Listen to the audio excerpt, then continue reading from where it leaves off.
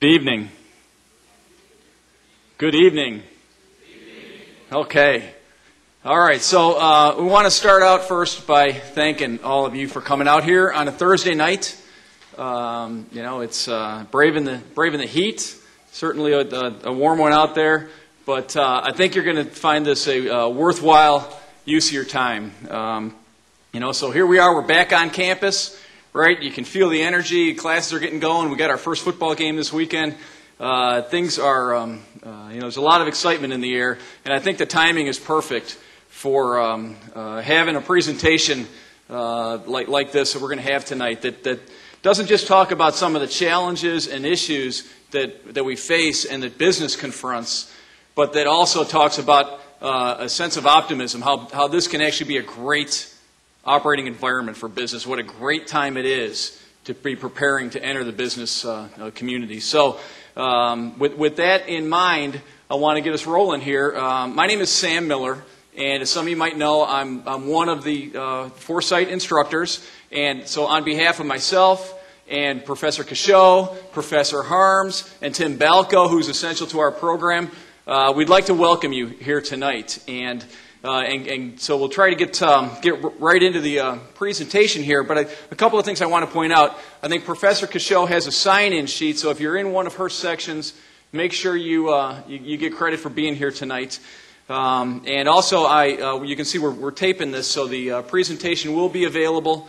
Uh, and there's also some reading materials posted by our speaker that are posted on Concourse. Okay, so there's lots of materials here. Um, and so, with that in mind, I'd, I'd like to uh, introduce our speaker tonight. Uh, he's a, um, uh, a, a, speaker that uh, has come down here and presented to our Foresight group multiple times, and it's, it's a great speech. And every year he's got more updates of, of, uh, of more business examples of how, um, how business can not only contribute to helping to solve some of the world's problems uh, and make this place a better place to live on in terms of uh, um, you know, justice and, and energy and pollution and, and, uh, and uh, natural resources and all those sorts of things. Uh, but they can do so in a way that, is, that fits a business model that he's going to explain. Um, and uh, so Bill Marquardt is our speaker tonight. Bill is a 1982 graduate of the University of Notre Dame. Okay, so he comes back to um, back to the Notre Dame community. He's a, um, uh, got an extensive resume that uh, is, um, is, is, a great overlap with, with this concept we're talking about with foresight. Uh, he uh, started his career with Ernst & Young, uh, was, had a, a, successful run there, and actually started their strategy practice and worked with companies uh, like Walmart and McDonald's and AT&T and others to, to help them navigate strategically as we were just starting to understand some of these challenges and issues in the world of sustainability, okay? And um, uh, so he's got some great practical experience. Uh, he's, um, he's got uh, executive level leadership experience with uh, Fortune 500, and currently he uh, runs a uh, consulting practice out of Chicago uh, that is uh, a practice called the uh, Marble Leadership Partners, and they work with corporations on strategy and more specifically on triple bottom line and sustainability uh, opportunities. Okay, so uh, with that, I'd like to have us all give a, a warm Notre Dame welcome to our speaker, Bill Marquardt.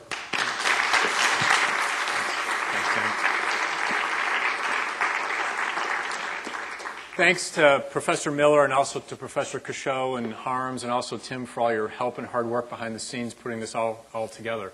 Um, it's great to be back here on campus. Um, you know, not only did I graduate in 1982, my older son uh, Christopher graduated from here in 2010, and Patrick is a junior business major. So um, I've got a lot of connections with the university.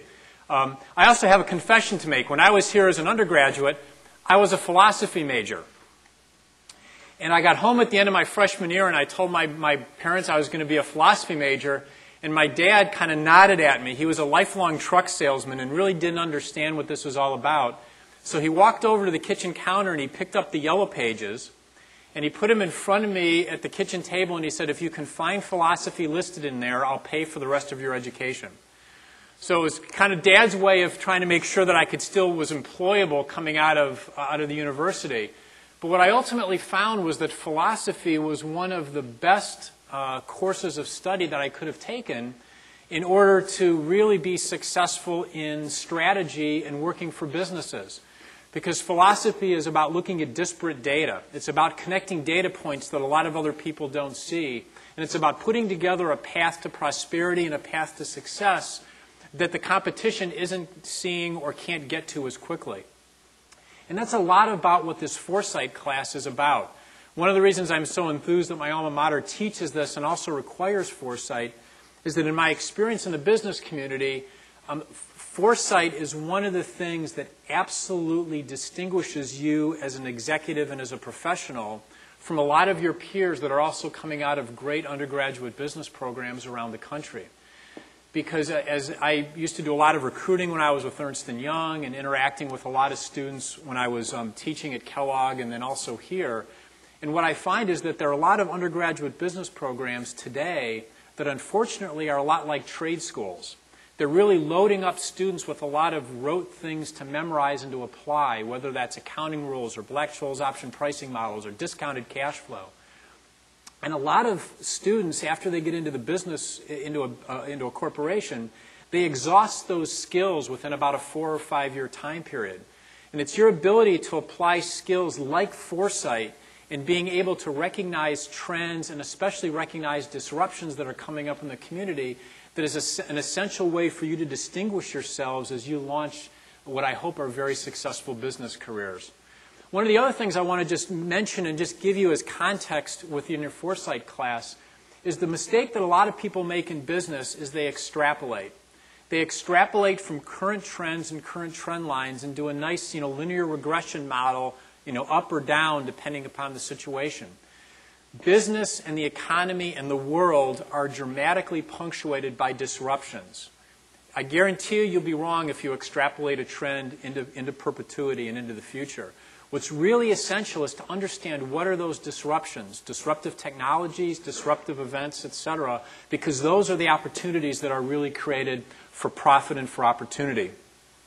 So before we get into kind of the social responsibility as a, as a business process and as a business opportunity, what I want to do is, is really start with a foresight example from um, my own business experience. There was a client that I was working with back in 1996. It was a technology company that was, had been around for about 18 years. It was publicly traded, but it was really beginning to kind of wallow and lose its way. And in February of 1996, uh, we were in uh, the midst of a $1.4 billion loss year, which those numbers don't seem that big now, but 15 years ago, a $1.4 billion operating loss was huge. I was working with the board of directors of this company, and what we were doing is we were evaluating our bankruptcy options. We were evaluating how could we restructure the company, we were running out of cash. Did we need to go into bankruptcy? What was the right way to ultimately position the company for success going forward? Um, after that discussion, I will say that uh, this was probably the most incredible turnaround story that I've ever seen in my business career because it was Apple. In February of 1996, I was working with the board of directors at Apple trying to decide whether we should file bankruptcy or not.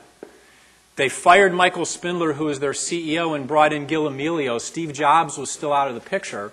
And Steve ultimately came back and rejoined the company because Apple acquired Next Computing, which was kind of a middling, failing software company that Steve started after he got booted from Apple.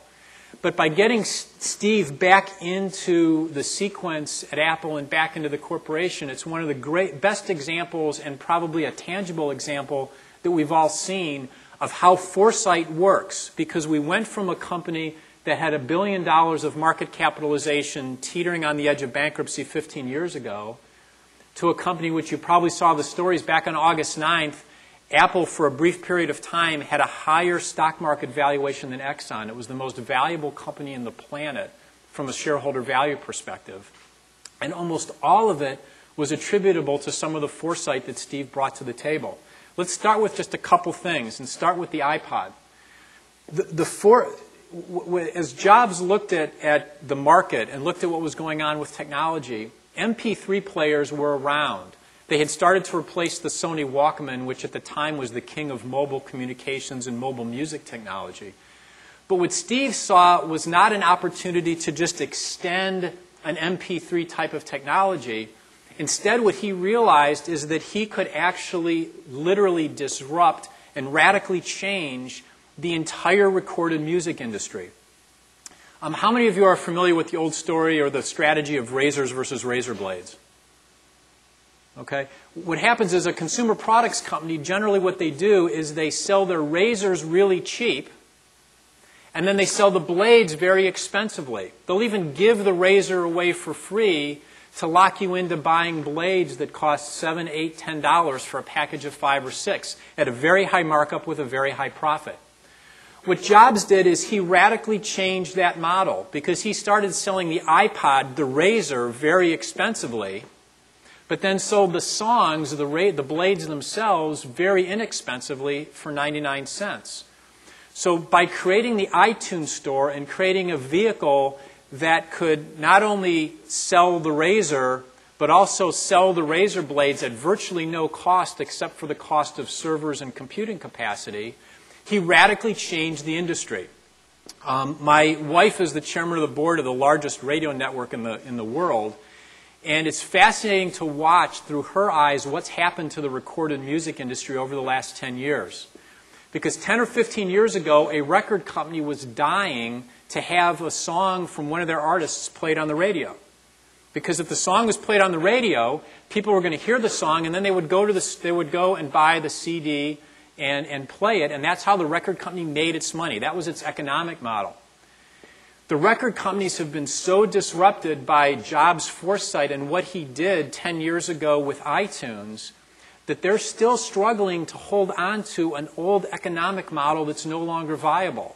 And the record companies are now in front of Congress trying to force radio stations to pay the record company every time that they play a song on the radio. And it's, it's an effort on the part of the record companies to hold on to an old economic model that by no means is, con, is continued to be viable and that entire industry has been trumped by the foresight that Steve brought to the table in recognizing the flip in razors and razor blades, and by creating his own new business model, he was able to launch the iPod. Now, it's interesting because then you get to the, the MacBooks and the MacBook Pros and those computers. In the mid 2000s, 50% of first time Mac buyers were introduced to Apple because of the iPod. So the iPod was really the singular technology that launched Apple to where it is today. Second, we have the iPhone. Okay, and in the case of the iPhone, it was Steve recognizing that as you head out into the future, that the computing power that we hold in our hands is going to be much, much more powerful than what we can just do with texting. And it was recognizing the fact that computing power is moving from stationary or laptop devices into portable devices that launched the, um, the iPhone. And then you've got the iPad, which was a rehash of the Newton that Steve was involved in trying to build um, about 15 to 18 years ago. It ended up not being successful because it was really ahead of its time. But the, the, the, the trend, the disruption that, that Jobs and Apple recognized with the iPad is that computing power is moving away from the lap and is instead going into the cloud and going into the web. And by having um, smart or you could call them dumb devices that you're holding in your hand that don't have to have software loaded on them. What they're doing, what they've done is they've effectively created an environment um, and recognize that that environment is, is coming and is already here when your applications can be out on the web and you don't necessarily need to have that much computing power um, in, your, in your handheld device when you look at the announcement that he just made in April of the iCloud and the $500 million server farm in North Carolina that Apple's building, that's the next step in the technology. And what he's recognizing is he's pushing the technology a step further and recognizing that pretty soon we will no longer need to have any kind of software capability, with the possible exception of apps, in our hand, and everything is going to be in a server environment and accessible to you on the web. What's fascinating about this foresight is effectively what he's doing is he's disrupting his own technology and disrupting his own competitive advantage. Because the iCloud will now have born to run one copy sitting on the cloud on the server, rather than being on a half a million or five million iPods around the country. So you won't necessarily have to have that song on your handheld device anymore. One copy of the song on a licensed basis is going to be sitting on the cloud that you'll be able to access from wherever you are where you've got streaming internet capabilities and capacities. So with this technology, what Jobs has done is he's actually disrupted and made obsolete the iTunes store and the iTunes technology that was such a critical element for him 10 years ago. So, you know, that's probably the most extreme example that I've seen in my own business career of how foresight really works. And it was Steve's reintroduction to the business way after I had left and wasn't working with Apple anymore. But to know that they went from a bankruptcy discussion to the most valuable company in the world is a massive turnaround that's completely, I, I would say, is completely attributable to the benefits of foresight and what Steve and also his developers like Jonathan Ive, his industrial designer, and others really brought to the table. So, what, I'd, um, what I want to do today is uh, I'm going to sh- shift the discussion um, a little bit. And, I'd, I'd, like you to focus on today's presentation really at two levels. Um, what I want to do is the content that we're going to talk about is social responsibility and the business opportunity that's inherent within social responsibility. So, at one level, there's a lot of content here around the emerging and converging social responsibility trend. But at another level, what I want to do is I want to demonstrate how we've used foresight in our firm to recognize emerging business opportunities and to bring our clients to take advantage of creating value from those opportunities. So, level one is content on social responsibility, but at level two, I'm going to demonstrate how to use foresight uh, to really pull some of these opportunities together. Um, also, let you know that um, these slides, I'm going to send a PDF of the slides to, uh, to Tim later tonight, and they'll post it to the class website. So, take notes on what you want to right now, and then you'll get a copy of the slides um, as early as tomorrow to download. So, I want to start with where business executives' minds are today. Where's the CEO's head relative to social responsibility? And unfortunately, in business today, we're still living under the cloud that was cast by an economist named Milton Friedman, who wrote a very important essay in 1970 in the New York Times Magazine. And this is an excerpt of his, um, of his uh, essay he said there is one and only one social responsibility of business to use its resources and engage in activities designed to increase, increase its profits so long as it stays within the rules of the game, which is to say, it engages in open and free competition without deception or fraud. So Friedman basically laid down the gauntlet and laid down the rules of the game for social responsibility that we've been playing under and under the shadow of for the last 40 years.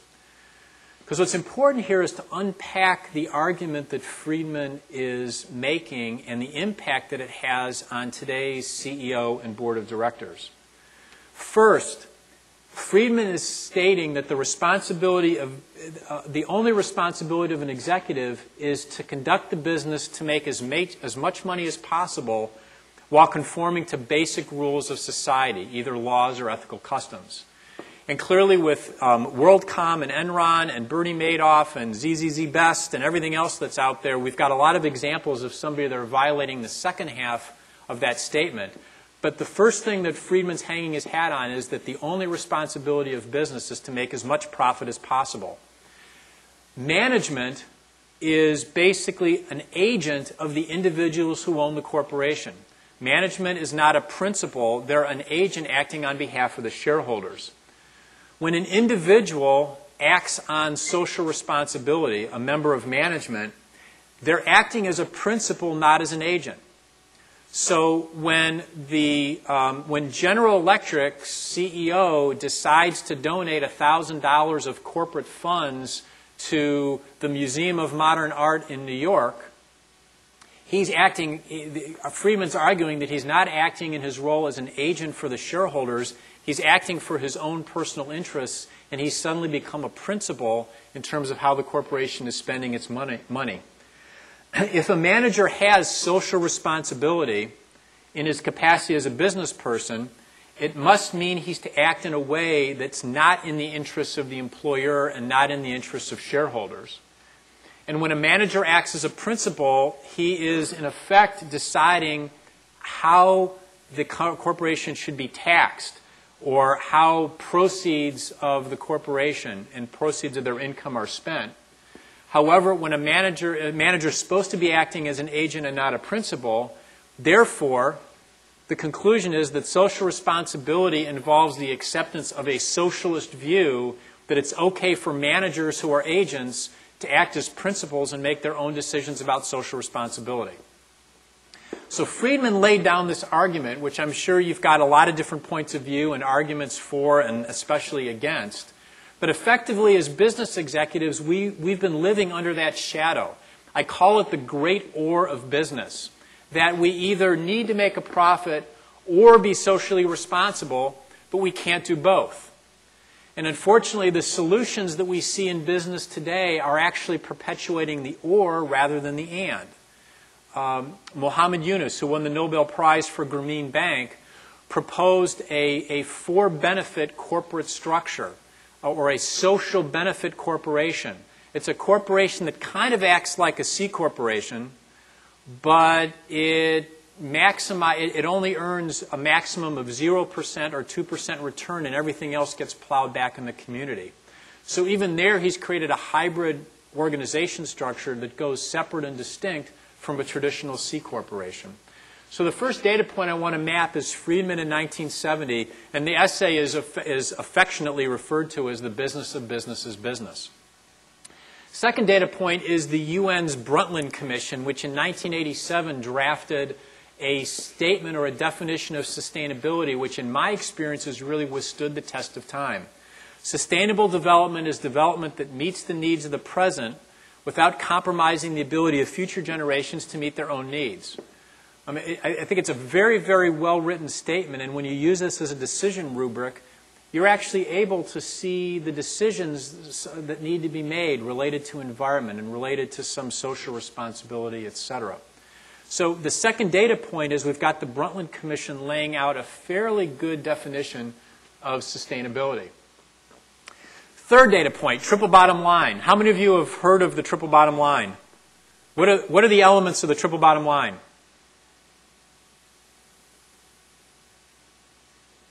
Social, okay.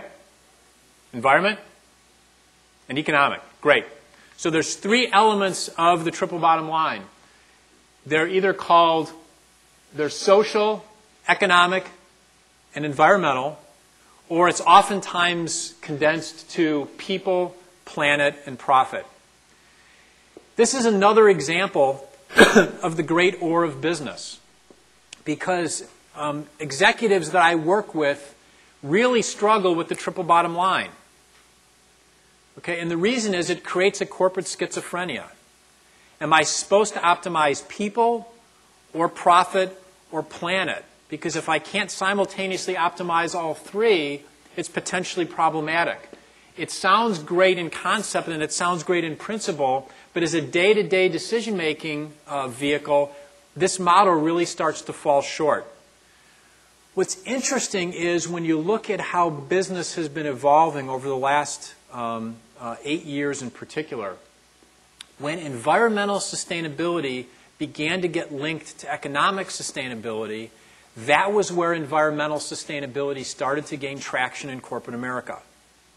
Okay, when Walmart decides that it's going to increase the efficiency of its entire distribution fleet, the fuel efficiency by 10%, okay, it's good for the environment, but it also reduces logistics costs because you don't have to pay as much for fuel when Walmart decides to eliminate the dumpster at the back of the store where you put all the packaging and the crates and the cartons and everything, it serves an environmental responsibility of reducing landfill. But anything that's thrown into the dumpster in the back of the store is non value added product cost. It's, it's material that, that Walmart had to pay for. When they bought a case of macaroni and cheese, they had to pay for the cardboard that came with that case too, and that cardboard got thrown away. So one of the things Walmart's done is the Walmart 2020 program is they've challenged all their vendors to have absolutely no disposable packaging by the year 2020. And one of my clients is a packaging company. We're struggling to figure out how to solve that one, but we know that if we do, we've got a great opportunity from a foresight perspective to leapfrog the other packaging competitors um, that we face in the marketplace. So it was only when environmental sustainability became linked to economic sustainability that environmental became mainstream. Uh, you know, General Electric, with its ecomagination program, committed to generating $20 billion of incremental revenue from environmentally friendly products over a seven-year period. When you introduce something like that, when it's tied to revenue and it's tied to the bottom line, that's where it gains traction. One of my foresight predictions, and one of the things that we see coming, is that social responsibility will soon get linked to economic responsibility. And corporations that are able to find a way to solve social issues and do it profitably are the ones that are going to win in this new economy. And in a few minutes, I'm going to give you three examples of corporations that have been successful at doing that. So our third data point was Elkington's triple bottom line, the fact that we started in 1994 to, to think about this confluence of these three elements social, environmental, economic, or people, profit, and planet. So that gives us another data point, but we're still living under the great or of business. Then came Peter Drucker. And right before Drucker passed away, Peter said that every single social and global issue of our day is really a business opportunity in disguise. And when you think about the use of foresight in business, this is what foresight is all about. Every single social and global issue is a business opportunity in disguise, but it's a matter of, matter of recognizing what those trends are and a matter of recognizing those disruptions so that you can take advantage of it from a profitability perspective. So our fourth data point becomes uh, Drucker's comment. A fifth data point is Interface Carpet. Interface is a fascinating uh, company. Uh, what they did is they're the, co- the company that makes industrial carpeting and carpet tiles. So that could very well be what's in this room. Or if you walk into an office or a classroom and there's two by two foot carpet squares that are there on the floor, those are likely made by Interface Carpet. Um, highly polluting industry, highly environmentally damaging industry. Most of that stuff is made from um, oil-based derivatives, not only the, uh, the rubber underlayment, but especially the fibers themselves. Um, if the building ever starts on fire, the fumes from the carpet will get you way before the fire does. What their CEO did in 1996 is he set a goal, uh, a, a, zero, um, zero impact goal, where he said, I want us to be environmentally neutral. I don't want us to have any carbon footprint by the year 2020. And since he laid out that challenge, the company has been working slowly but surely toward achieving that goal. What's interesting is they've had about, as of now, they've got a 62 to 63 percent reduction in their carbon footprint since they started this, they launched this initiative. Their profits have also increased 55 percent, and their revenue's gone up even more during this time period. So what, what Interface was able to do was to prove to the industrial business community that environmental and profit aren't mutually exclusive. Because what happened was not only did they think of new ways of doing things that reduced in internal and ingoing product cost, but they were also able to get a competitive advantage in the marketplace because they recognized that what was coming was corporations, building owners, and landlords that were going to become much more concerned with environmentally products within their construction and therefore, they were the first to market with the kinds of carpets and other building materials um, which could be um, not only used, but which could be certified as being environmentally friendly. So, again, interface, another data point that people are starting to recognize by 1996 and especially in early 2000 that when you link environmental and economic sustainability, it's a potential source of shareholder value. So now we move to three corporate examples. The first one is Dannon Yogurt. Um, Dannon's CEO challenged his leadership team four years ago to try to address the malnutrition problem in Bangladesh. What their research and development and marketing team did was they developed a highly nutritious yogurt product. It's manufactured in small footprint, 7,500 square foot plants. It's manufactured from milk that's purchased from local farmers, and the product is shelf stable. It doesn't have to be refrigerated, and it's distributed through the network of Grameen phone ladies that sell prepaid phone services for Grameen Bank and for the Grameen family of companies. So what's ended up happening is, um, not, first of all, Dannon has solved a social issue because they've created this highly nutritious yogurt product, which, by the way, only sells for seven cents a cup. Um, this is a picture from their annual report of one of the villages where this, where this yogurt is being distributed. So they've come up with a way to address the malnutrition problem. They're doing it in a way that is developing the economy locally because they're able to um, buy the milk from local farmers and manufacture locally. But what's also interesting is that the, um, what they've learned about small footprint manufacturing from these 7,500 square foot plants, they've now taken what they've learned and they're exporting it around the world to their larger manufacturing facilities. So they've generated operating efficiencies from introducing this constraint of coming up with a, with a Bangladesh solution. And last year, they introduced this same yogurt into the French market as an opening price point yogurt product. So they've not only innovated a new product, but they've developed a new market in both Bangladesh, in Bangladesh and also in France.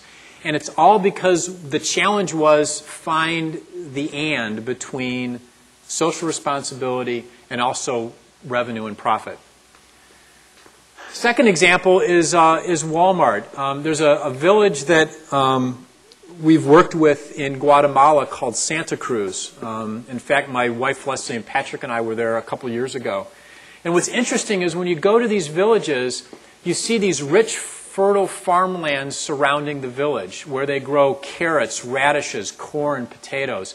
Guatemala is known as the land of eternal spring because almost all year the, the temperature is between 70 and 83 degrees, so it's perfect for growing. Radishes go from seed to harvest in 30 days. It's one of the quickest turnaround crops there.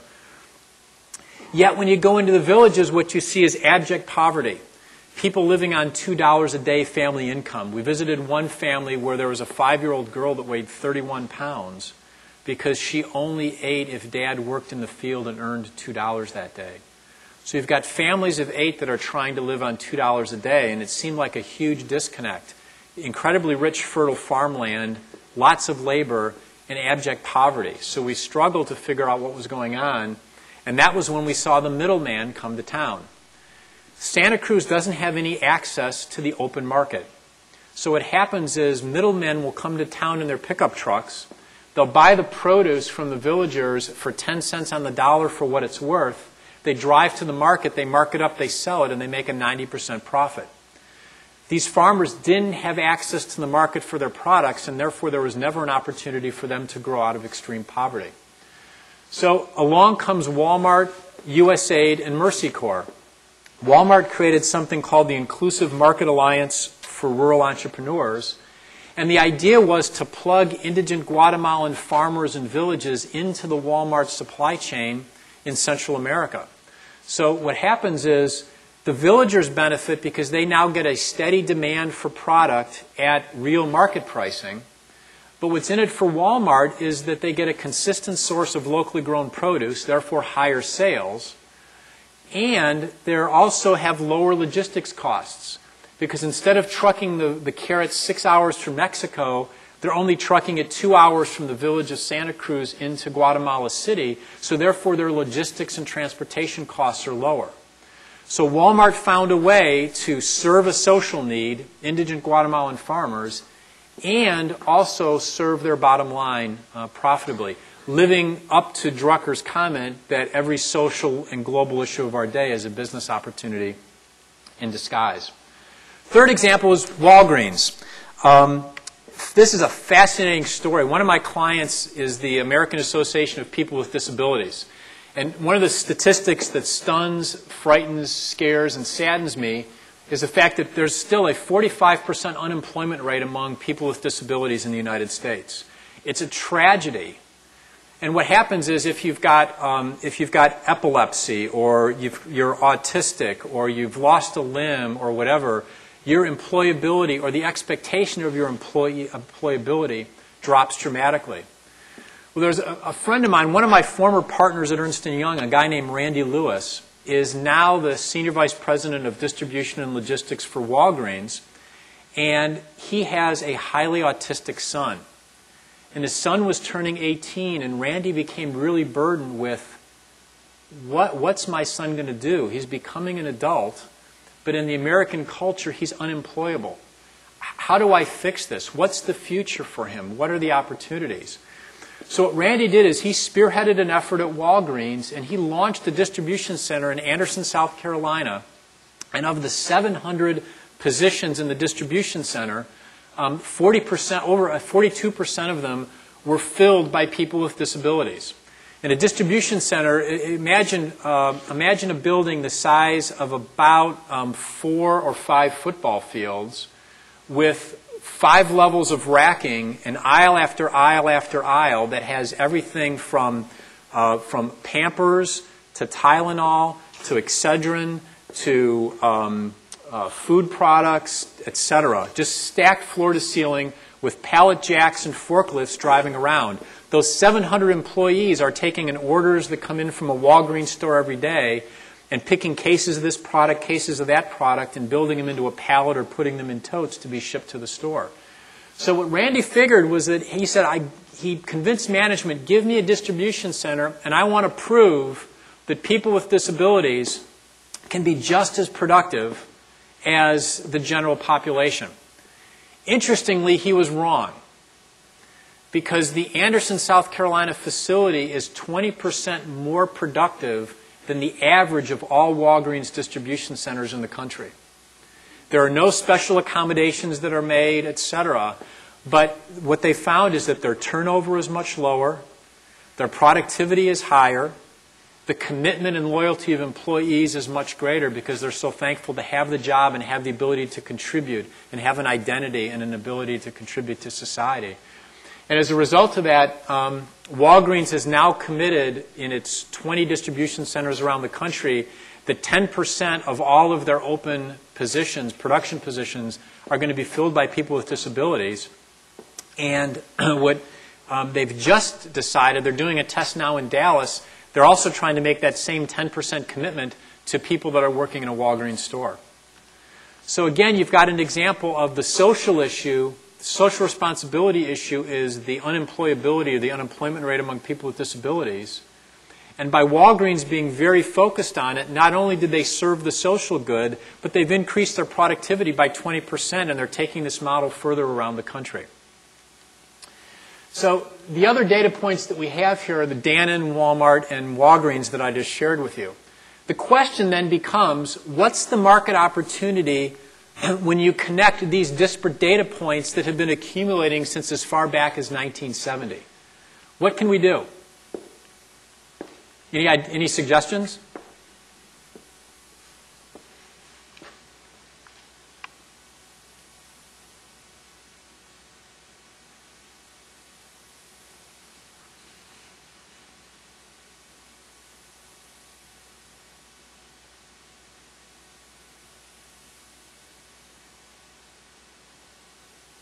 Are there corporations that can solve social issues? Yes or no? We'll, make, we'll make it a binary question, yes or no. Okay. Are there corporations that can be profitable doing that? Okay. So the answer and the trend is that the winning corporations in this emerging economy are the ones that are able to find the and between profit and social responsibility. And the key to finding the and, there's three elements to this corporations are generating innovation, growth, and shareholder value. They're doing it using the assets of the core business to address major social issues. And the thing I want to emphasize here is that this focus is on the core business. This is not philanthropy. This is not writing a check and sending it to the Salvation Army. This is about embracing a social issue that you can address within the corporation in a way that's profitable. And the beauty of it is that we're finally beginning to escape the shadow of Milton Friedman from 40 years ago. Okay, because we don't have to debate the role of a corporation in society anymore, or how much does a corporation need to get involved in social responsibility. Because if a corporation can solve a social issue and do it profitably, you're still satisfying your social responsibility and your fiduciary responsibility at the same time. Um, so the solution is to turn corporate social responsibilities into corporate opportunities, a la Peter Drucker's quote, and then turn those social opportunities into sustainable competitive advantages, either profit, cash flow, shareholder value, and the like.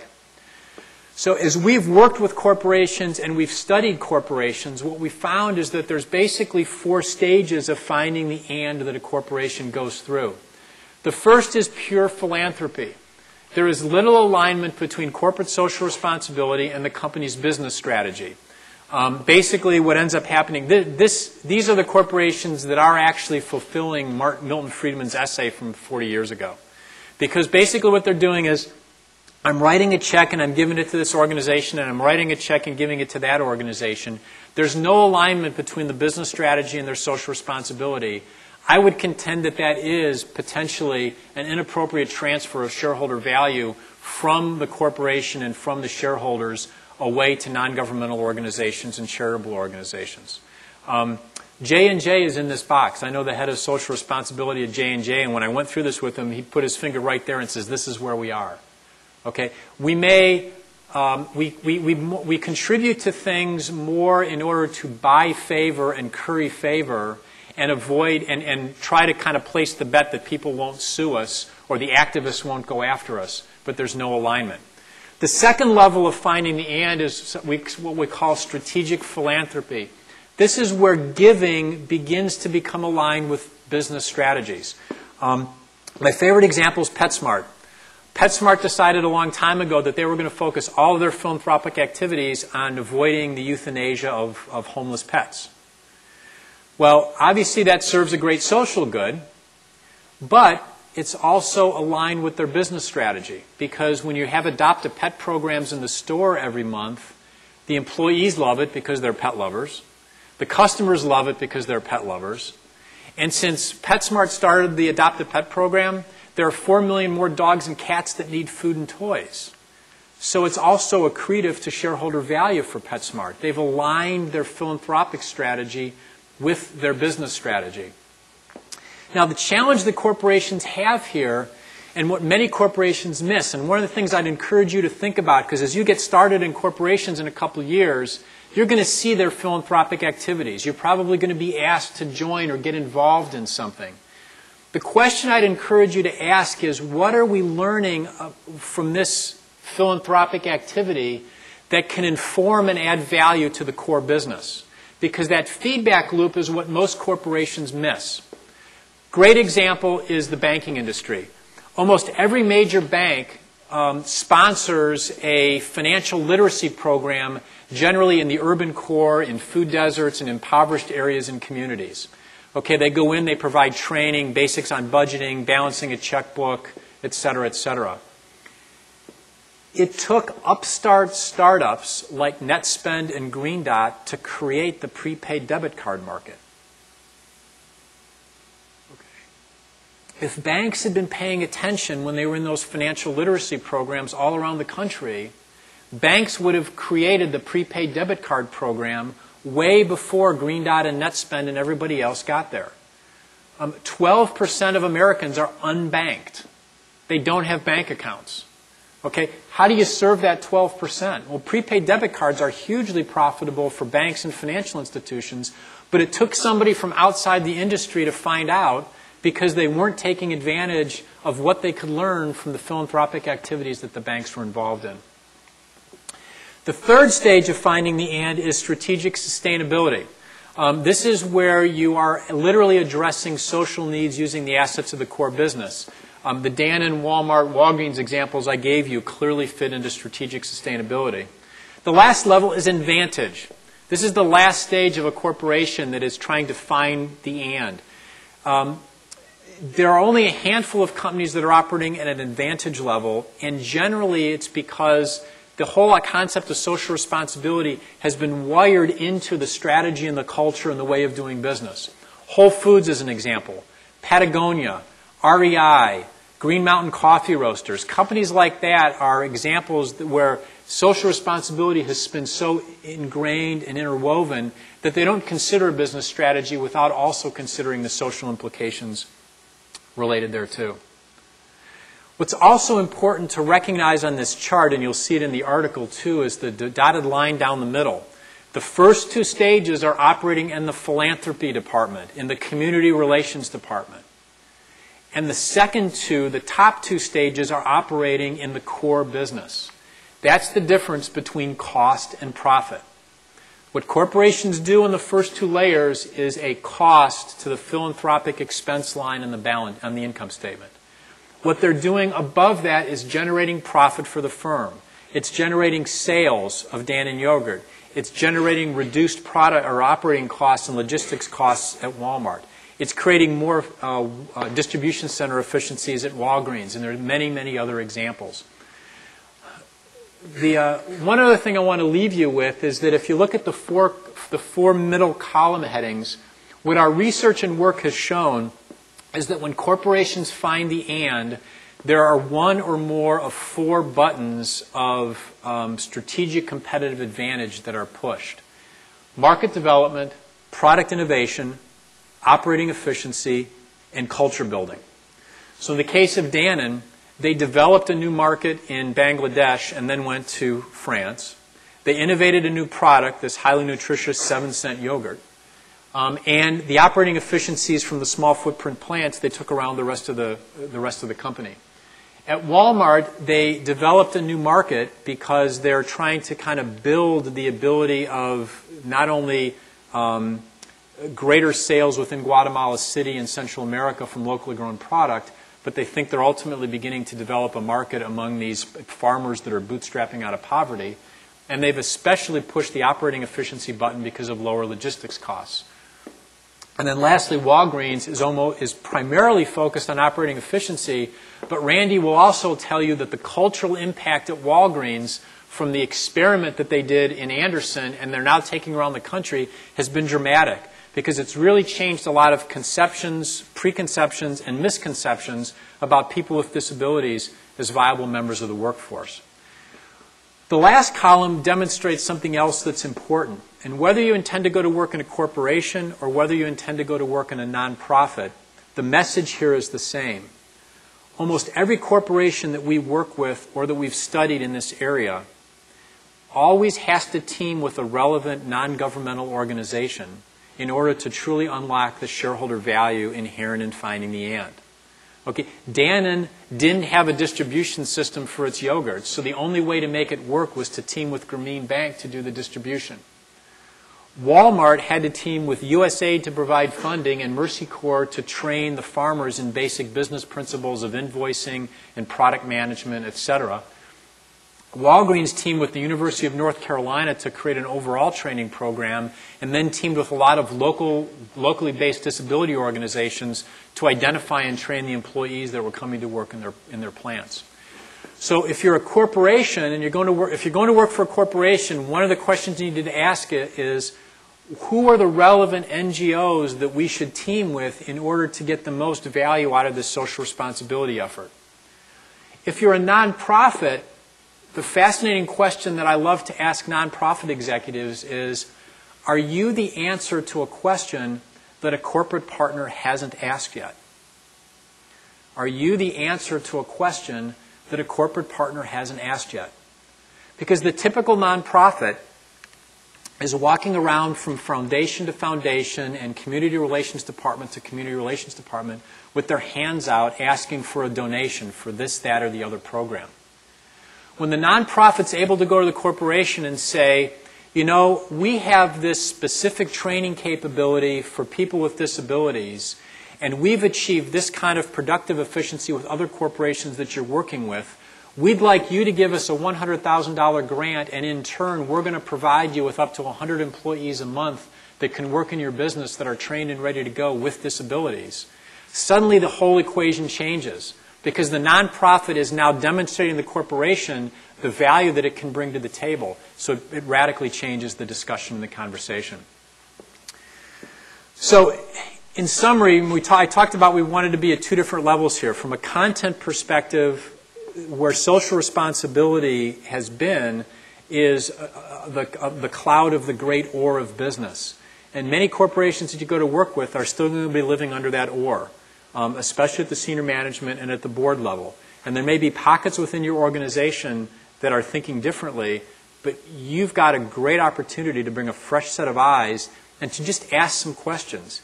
Hey, couldn't we solve this and also generate revenue or generate reduced costs? So, from a content perspective, what's happening is as social responsibility becomes linked to economic sustainability, that's where it's going to take off in corporations. We're about eight years behind where environmental sustainability is now on the social side.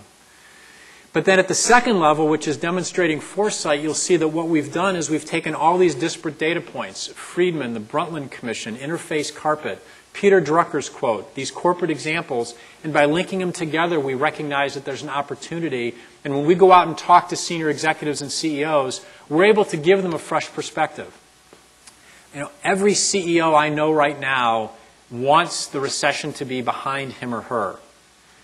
And there's a point at which the CEO realizes that he or she can't cost cut their way to prosperity, and they start asking the growth question. And the finding the and as a lens, as a new way of looking at innovation and growth, is a brand new way of answering that growth question that most senior executives and corporations haven't looked through yet. So as we come out of this recession and the, and the economy begins to expand, this becomes a very, very important um, component. So with that, I, um, that's the end of my prepared comments. I want to spend about 10 minutes or so on whatever questions that you may have about this material or even uh, more broadly. But don't ask me the philosophy questions because that was a long time ago.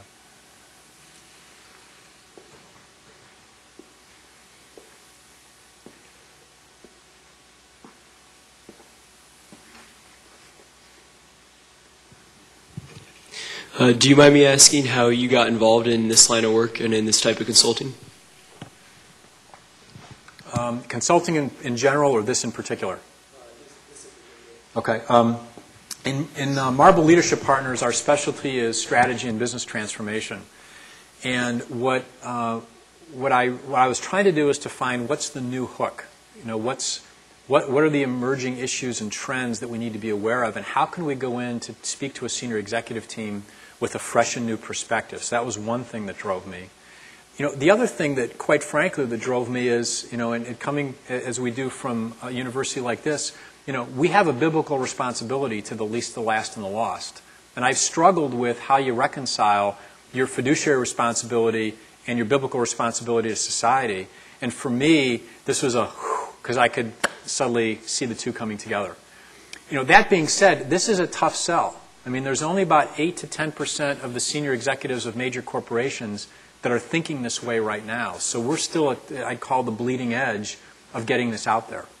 You know, and we've, you know, talked to companies like Meyer. We work with a, a financial services company down in St. Louis that's actually increased their revenue by 50 percent applying these principles. You know, we've done those, you know, work with, uh, with Walmart, the American Association of People with Disabilities, but it's still, it's still a little bit new in that regard. So for me, what it's been, it's been a way of diversifying the consulting practice because in addition to the traditional corporate strategy work and business transformation that we're doing, adding this gives us a different perspective and a different sell.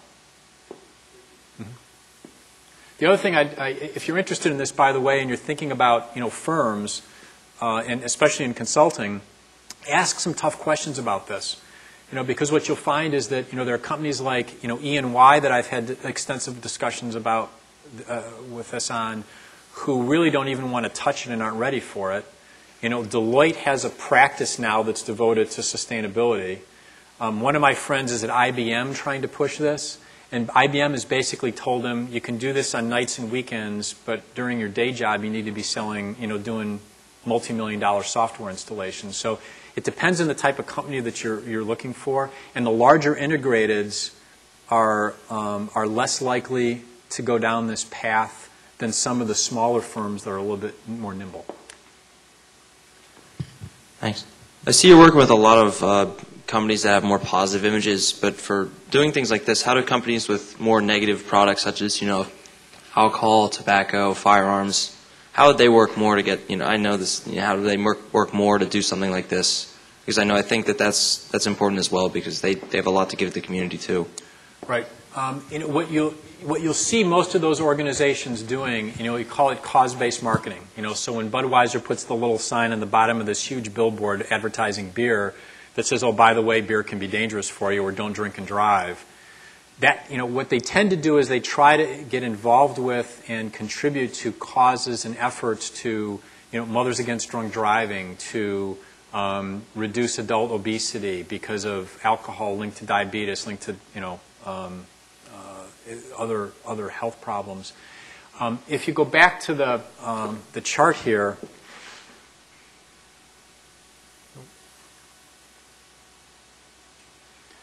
Most of that is either at the pure philanthropy or strategic philanthropy level. Um, it's still oftentimes I'm, I'm trying to basically uh, buy an option that I won't uh, get sued or that the, um, the, the uh, activist organizations won't come after me. I think you know one of the questions. Now I haven't I haven't thought about it from the ATF perspective, but um, what are what are the social issues that a Budweiser or a Altria or somebody like that? What are the social issues that they could solve that are accretive to shareholder value in the business? No, I, I, it's kind of a rhetorical question because, quite frankly, I, I, don't, I don't have the immediate answer to that. That's a tougher one. So, the, one of the companies I mentioned, the financial services company, is a company that specializes in filing Social Security disability claims on behalf of disabled Americans. Um, what we've recognized in our market research is that disabled Americans are in a huge need of financial services, healthcare services, and a whole variety of other things that they can't get. I mean, Merrill Lynch isn't going to do a financial plan for somebody that's making $12,000 a year of disability income from the government. We ended up creating a Medicare selection service and a disability life planning service and a whole variety of products and services wrapping around the needs of the disabled consumer uh, that, that increased revenue 50%. But that, that was an easier one to solve than the one you posed. I know you I, I saw your hand up there. Yes, sir. I just like to see Professor Miller run a lot. Smooth. Uh, thanks. Um, as um, what was I going to say? um, as reporting agencies um, such as GRI and B Corp um, gain a foothold in the business environment, um, and corporations begin seeking um, certifications from them.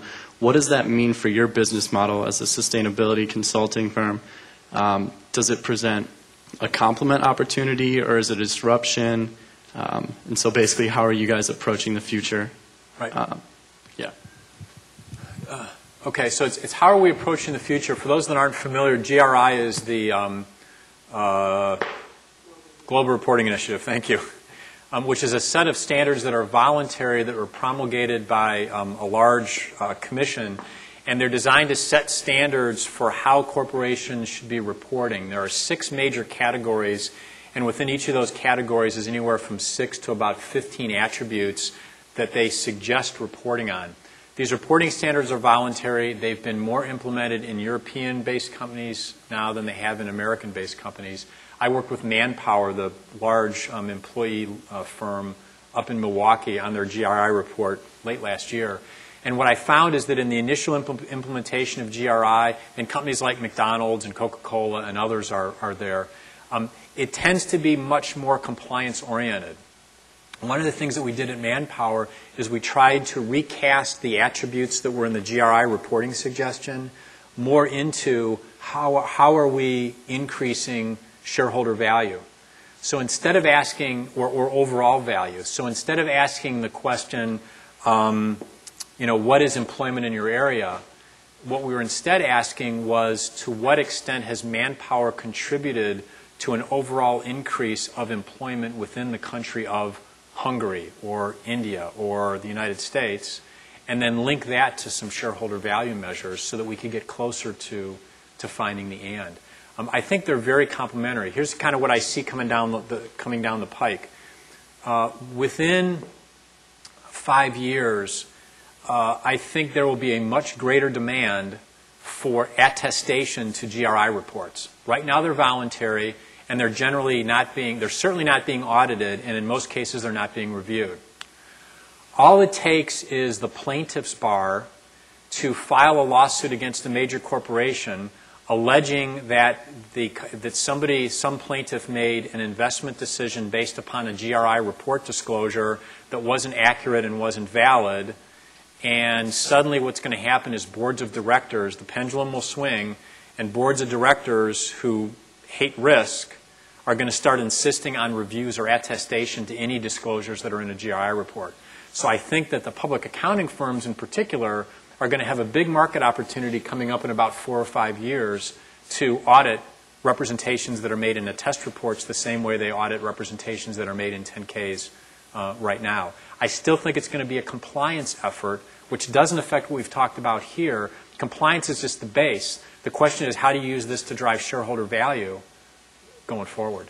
The other, you know, the other caution with GRI is, I mean, corporations that I've seen, um, some um, which, which I, some ones I haven't mentioned, I mean, some of their GRI reporting is on Excel spreadsheets.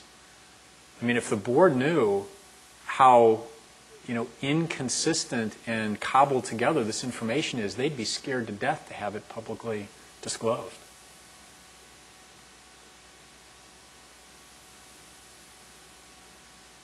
Yes, sir. This seems like something that would be uh, a little much easier for a more well-known uh, brand name company. But are there any lesser-known, younger companies uh, or company that is doing this really well? Or? Well, it, you actually know some of them because companies like Green Mountain Coffee Roasters are actually pretty small in the big scheme of things compared to Starbucks, but they're well known specifically because of that. Allsup, the financial services company that I mentioned um, in, uh, that's in St. Louis. Fairmount Minerals is fascinating. Um, Fairmount's based in Cleveland, Ohio. They're about a 250, 300 million dollar industrial mineral company. They basically extract sand and silica from quarries because of the way that they've embraced especially environmental responsibility and then to some degree social responsibility as a source of shareholder value, um, their profit has taken off radically and they're actually winning bids or winning uh, new business on a no bid basis because of the reputation that they have for what they're doing to the community and they're doing to the corporation. Um, I think you know what, what I found is that when you're dealing with the 10 to 15 million dollar corporation, they're still trying to keep the crocodiles and the sharks and everything else at bay that they don't really pay much attention to this. Um, the multi-billion dollar corporations, this often gets wedged into the social responsibility or the community development department. The real opportunity is in those 200 million to billion size companies which are running below the radar screen but have enough scale to make a significant difference. Um, I think we have time for one more.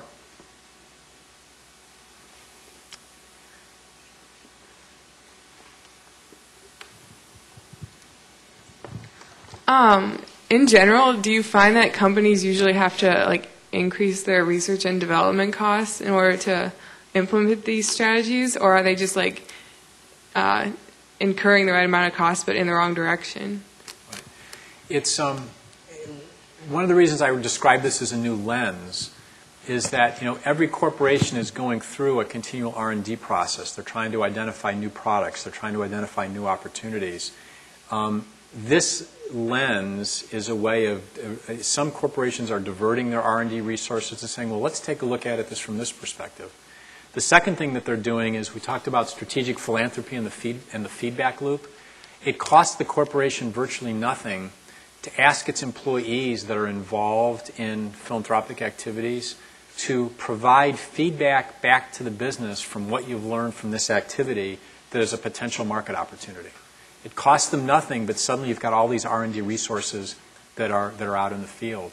Where it's most successful is when the CEO and the senior leadership team, when they're doing their annual strategic planning process, adopts this as one of the new lenses through which they're going to look to try to figure out what's going on and where the opportunities are.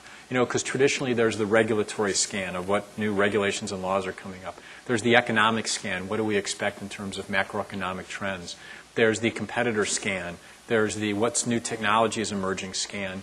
This becomes another scan to add to the to add to the list, but it becomes part of the overall planning process. So. I think why don't we why don't we um, why don't we break it here? I'll stay for a few minutes. So if you've got any questions that you want to ask one on one, I'll I'll uh, stick around for a few minutes. But it, it's been a real pleasure to be with you this evening and.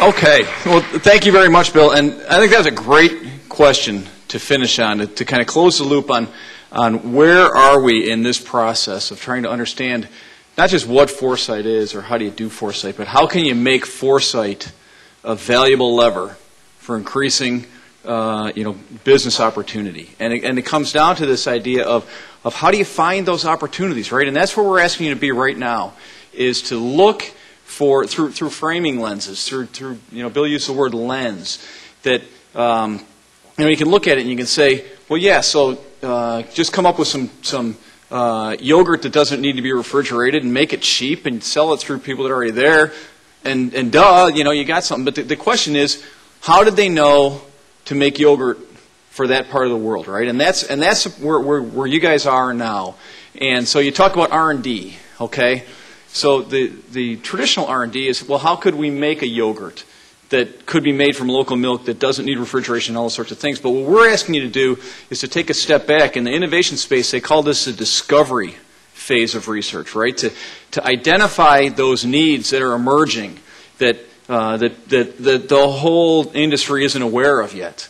But they're emerging because of trends and disruptions that are occurring or haven't even arrived yet but you can tell that they might come. Okay?